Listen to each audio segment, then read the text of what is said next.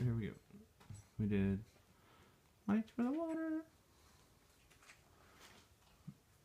Had sand everywhere, and of course, it's, a lot of it's glued down.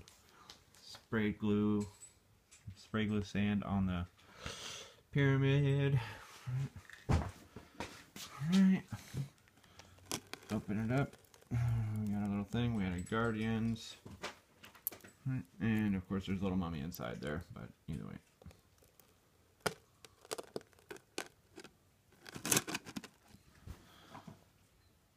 But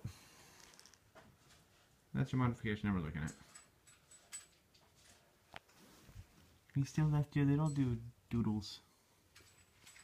But we had our own little palm trees and all that, so.